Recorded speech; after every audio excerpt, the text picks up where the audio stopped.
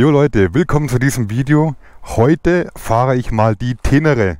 Vom Lukas, wer ihn kennt, der war Großglockner auch mit dabei. Heute schauen wir mal sein Moped an, eine kleine Vorstellung oder was er alles dazu zu sagen hat, was er umbaut, was er vorhat. Genau, jetzt kommt erst einmal das Intro und dann geht's weiter mit dem Video.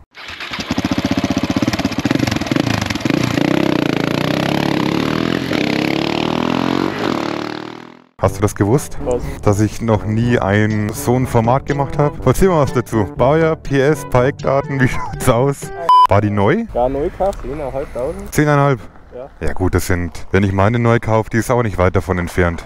Schöne billige Reise hier. Ja, das stimmt. Was, ABS komplett oder? Ja, ABS hat es halt normal und das kann man komplett abschalten für Offroad. Also Offroad ABS. Offroad ABS? Habe ich auch drin schon mal ausprobiert. Ja, wie vorhin angemacht. Das ist aber richtig scheiße.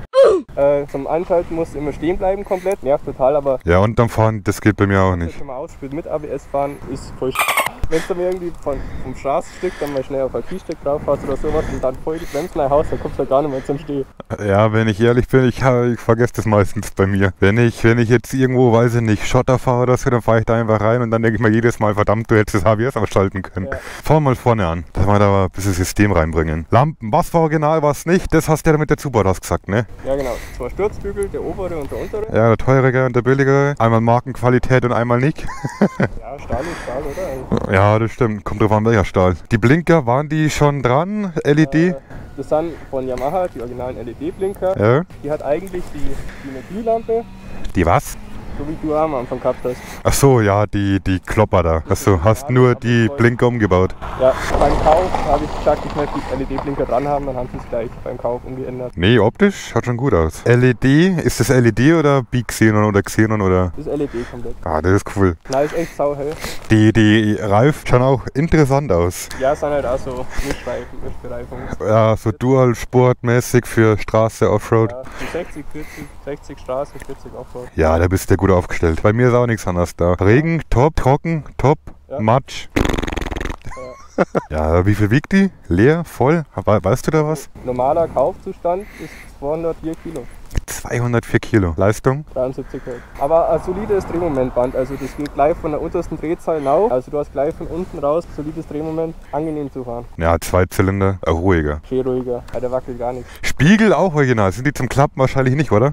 Original. Au, alles original. Da schaut es bei mir schon ein bisschen, Ja, bisschen schlechter aus. Das, das ist zu, äh, Zubau. Der ist original, also der ist original, ab Werk, Ja? Vollbox. Der ist halt Mit dazu gebaut. ja, nachgerüstet. Zweimal USB Anschluss. Handyhalterung, noch eine Handyhalterung. Ist das verstellbar? Ja genau, das Hoch, ist auch runter. nachgerüstet. Eigentlich ist die fest Ja. und so ist halt höhenverstellbar. Braucht man das? Was ist deine Meinung? Ich finde schon, ich habe es ab 1, 2 cm höher am Anfang voll die Umstellung, weil es viel lauter ist. Hier knallt der Wind voll an die Ohren hin, aber man gewöhnt sich dann irgendwann ziemlich schnell dran. Äh, Tank. Wie viel hat der? Wie weit kommst? Ich habe noch nie nachgeschaut, aber ich finde, ich komme ziemlich weit. Locker 350, vielleicht ein bisschen mehr. 16 Liter. Ja. Mit Reserve. Mit Reserve. Handguards, die sind aus Plastik, oder? Oh, oh, oh, böser Fehler. Ja, ja. Da habe da hab ich schon schlechte Erfahrungen gemacht. Ja, da können irgendwann noch Alu verstärkte. Da kann ich da mal welche empfehlen. Die, was ich dran habe. Nee, schaut schon top aus. Der ist doch nachgerüstet.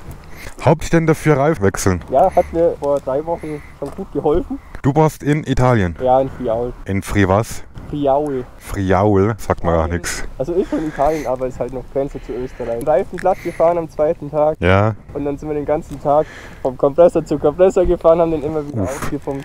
Du hast ja auch einen Auspuff, oder? Sportauspuff dran baut? Von Wings. War das Komplettanlage oder Äh, nee, nur der Top, Top bis daher Hitzeschutz? Mhm. Costa Quanta? 490 Euro. Ist in Ordnung, ja. Von 1 bis 10, was sagst vom Sound? Könnte besser sein, ganz ehrlich. Aber Vergleich halt zu der XSR davor, die finde ich hat einen echt kernigen Sound gehabt. Die war aber auch noch Euro 4. Ich weiß nicht, ob das allein den Unterschied macht, aber ich finde, die äh, verschluckt ein bisschen mehr den Sound. Ja, ich glaube, dass es auch drauf ankommt, welche Marke du dir kaufst. War der Das Koffersystem ist noch nach. schön, dass du meine Gedanken lesen kannst. Dran gebaut. Wie viel Liter kriegst du da rein? Also Koffer links und rechts wahrscheinlich beide? Wieder Bügel von auf und Fördertech halt. Ja. So, Bügel, linker Koffer, rechter Koffer. Was hat das gekostet im Koffer? Also das hast du ja auch dran. Haben wir 1300 Euro gekostet. Sportlich. Ja, du fährst aber auch öfter als ich Tagestouren. Oder auch generell mal weg. Was war die längste Tour, die du gefahren bist? An einem Stück? 8, 9 Stunden. Neun Stunden. Bequemlichkeit? Ja, aber sieben Stunden ist schon echt stark. Bei mir ist so, ich bin ja Sölkpass gefahren, was deine Empfehlung war. Bin ich glaube drei Stunden ein einfach hin und drei Stunden zurück. Und ich muss ehrlich sagen, drei Stunden einfach hin, da wurde schon grenzwertig bei der Hinfahrt. Und bei der Zurückfahrt, wo ich mir gedacht habe, ich habe oben, weiß ich nicht, eine halbe Stunde Pause gemacht, weil ich alleine unterwegs war. Und dann bin ich zurückgefahren und da ja, ich habe ich mal gedacht, muss ich länger Pause machen. Ja, müssen wir mal längere durchfahren oder tauschen wir? Was ist meine Sicht eigentlich? Ich hab's geplant,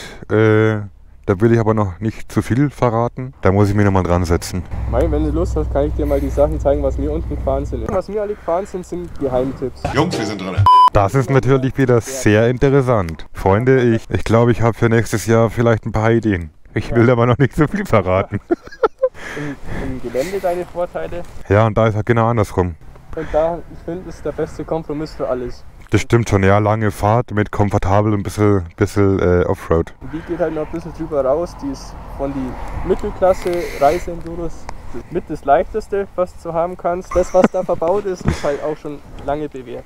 Das ist bekannt, alt bewährt, man weiß, Schwachstellen gibt es und dann kommt noch dazu, sie ist extrem billig für die Preisklasse, also Motorradklasse. Was, wie viel die kostet? Was haben wir gesagt? Neupreis, so 10,5. Ja, Optik schaut auch in Ordnung aus. Ja, auf jeden Fall. 200 offen. Schon mal gefahren? Ich glaube nicht. 180 vielleicht mal. Bei hoher Geschwindigkeit ist einfach nur wieder Windschild, Wind, was dann einfach so gegen die Ohren und gegen den Helm dann Frank irgendwann. Und Kopf einziehen. Ja, das wäre. Mehr oder weniger. Aber es ist einfach halt, fand ich ein bisschen zerschüttelt. Ist es Plastik, oder? Tank ist Metall, aber sonst ist es Plastik. Jetzt nur fahren, ha? Jo. Ja gut, dann schauen wir einfach mal. Bin ich mal sehr, sehr gespannt auf den Rubel. Alter, was für ein Cockpit. 200 Kilo. Uiuiui. Ist schon Gerät, du. Uiuiui. Einmal Power, Leerlauf. Ui, da bin ich mal gespannt. Erster Fahreindruck. Nein, Lüge, ich bin die sogar schon mal gefahren. Digitale Drehzahlanzeige. ABS ist an, das schalten wir später aus. Alter, viel ruhiger. So Leute, jetzt fahren wir mal die Tenere. Bisschen Probe. Ich bin die schon mal gefahren und ich muss ehrlich sagen, Alter, fährt sich die ruhig. Also im Vergleich Einzylinder, was ich habe, komforttechnisch komplett was anderes. Mit zwei Zylinder unterwegs sein. Und ja, ich glaube, ich weiß, er gemeint hat mit Wind. Ich merke es im Gesicht, auf der Seite ist schon recht laut. Aber so, also 200 Kilo, auf der Straße zumindest merkt man es recht wenig. Im Gelände willst du wieder wahrscheinlich komplett anders ausschauen. Aber so erster Test, easy cheesy, also ganz entspannt. Schwerpunkt auch recht tief. Sitzposition, ja, recht angenehm. Das einzigste Manko, was ich jetzt habe, Alter, wie wuchtig es einfach ausschaut.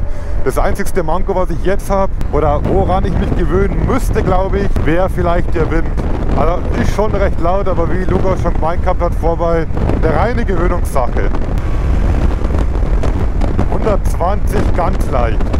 Also bei meiner muss ich ehrlich sagen, mit 120 schaut die Welt schon wieder komplett anders aus mit Einzylinder. Da wackelt alles, da vibriert alles und bei der ist es schon seidenweich. Kann man nicht mit vergleichen. Gefällt mir schon richtig gut, aber ich glaube, wenn es mal ins Gröbere geht oder ins steileres, gröberes Gelände, da müsste mich das Bike noch überzeugen. Fährt sich aber schön, nice and easy. Was mir aber sonst noch auffällt ist Sound. Sie ist definitiv viel leiser wie meine, aber würde ich so jetzt nicht als Kritikpunkt dastehen lassen. Ich meine Komfort, Optik so top. Einer ist mit der sogar Erzberg mitgefahren, wo ich mir denke, ich das zweite Mal auf diesem Bike beim ersten Mal habe die Kamera nicht laufen gehabt. Alter, was für ein Oschi. Hut ab, Respekt an den Typen, aber wahrscheinlich auch alles umgebaut. Auf leicht, auf Sport. Also die fährt sich schon verdammt gut. Niedriger Tiefpunkt, Kurven, alles easy. LED schon mit eingebaut. Nur ein bisschen Respekt hätte ich wie gesagt noch im Gelände. Aber das testen wir jetzt auch gleich mal aus. 20 Minuten später. Deins ist glaube ich eh aus, ja, blinkt. Bin ich mal gespannt. so, kleiner Offroad-Eindruck. Alter, ist die weich. ja, rutschig bisschen. Können am Profil liegen. Der Tank ist mal ein bisschen im Weg, wenn ich mich nach vorne lehnen möchte. Aber so, es ist ungewohnt. Mit 200 Kilo fährt sich schon recht gut. Also hätte ich echt nicht erwartet.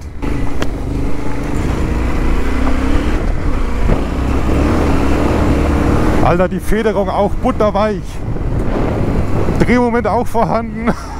ist schon geil, Alter. Nur im härteren Gelände weiß ich's nicht. Da müsste ich mich noch ein bisschen rantasten und da müsste ich das Bike noch länger kennenlernen. Entschuldigung. Ja, es tut mir leid. Aber ich mache hier einen professionellen Test.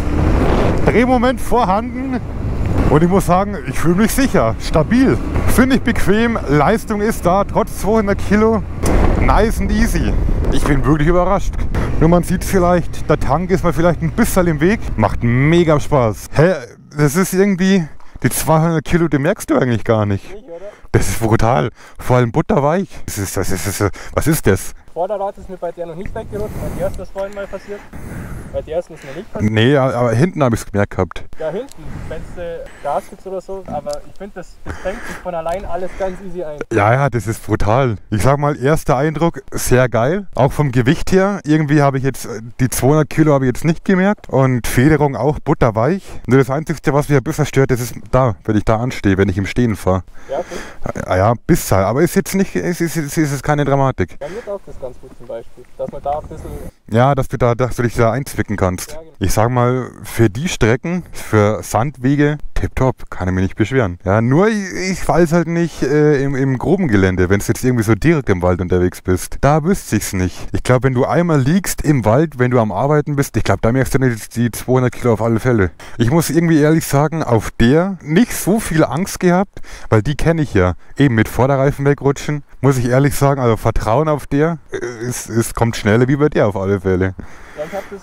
ausgesetzt jetzt auf dem Vorderreifen am Anfang ein bisschen weggerutscht und dann ein bisschen langsamer gemacht. Aber das ist, das ist ja Wahnsinn, wie die einfedert. Brutal. Da, da kommt man das schon härter vor. Ja, ist mir auch ein bisschen so vorgekommen. Das ist reine Einstellungssache. So richtig top. Aber die zwei Mankos, was ich persönlich habe, wenn ich mal ins Gröbere fahre, mehr Gelände und wenn ich die mal hinschmeiß, da glaube ich, Ja, klar. aber so für Touren irgendwie ideal. Oder was ist denn deine Meinung? Wer sollte sich die kaufen oder für wem glaubst du, ist die gemacht? Ja, Tagestouren oder halt alles, was über das Tagestouren-Ding hinaus. Da kannst du ja von der Feierabend, es ist auch Daily Driver auch top. Weil es ist für alles eigentlich ganz gut geeignet. Ja, das ist schon top. Da finde ich die eher mehr so im, im Gelände daheim. Da merkt man halt schon wieder, da, da, da kommt, bei der kommt die Sportenduro durch. Und der ist halt mehr ja, flexibler vom Einsatzbereich. Aber so, schniekes Teil, top. Wenn ich das Geld habe, zweites Motorrad. Aber habe ich leider nicht. Na gut, Leute, dann war es das, glaube ich, an dieser Stelle. Nochmal im Vergleich die beiden 690 und Tenere 700. Dann bedanke ich mich bei dir für deine Zeit. Ja. Fürs Fahren lassen. Also nicht einen fahren lassen, sondern mich die fahren lassen. Hat sehr, sehr viel Spaß gemacht. Ich habe es im Großglockner-Video schon mal angesprochen, dass du mein Ansprechpartner für Touren bist, Ja, weil ich kenne mich da recht wenig aus. Auch die Empfehlungen Völkpass, Großglockner und vielleicht auch ein paar zukünftige, aber da will ich noch nicht zu viel verraten, kommt alles von den netten Herren hier. Vielen Dank schon mal dafür. Dann war es das mit dem Video. Wenn dir dieses Video gefallen hat, lass ein Like da, lass ein Abo da, Glocke aktivieren, um keine Videos mehr zu verpassen. Und bis zum nächsten Video. Das war's.